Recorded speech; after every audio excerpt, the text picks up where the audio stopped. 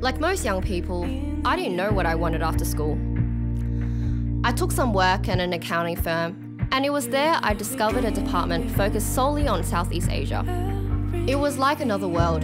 The group was vibrant, busy, and it made me realize that's where I wanted to be.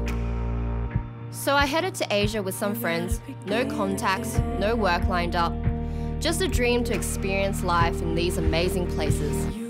I found work in a thriving business economy and discovered a culture totally different to our own. And I realized I could offer this opportunity to other students.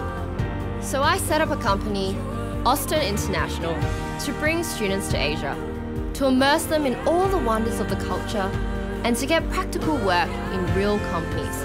Not just to get coffee and photocopy, but to actually use design thinking to solve problems. The world is full of ideas. You just need to have the confidence to take that first step.